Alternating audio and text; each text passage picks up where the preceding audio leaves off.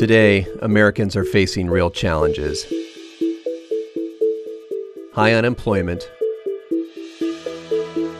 foreclosures, rising debt, civil unrest, families struggling just to stay above water. And what have politicians done to help us? They've spent tens of millions of dollars in vile and petty attack ads in the past two months alone.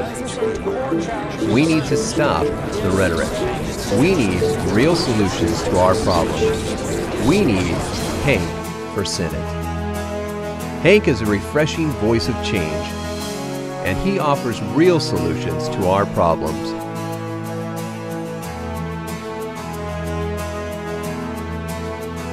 Vote Hank for U.S. Senate.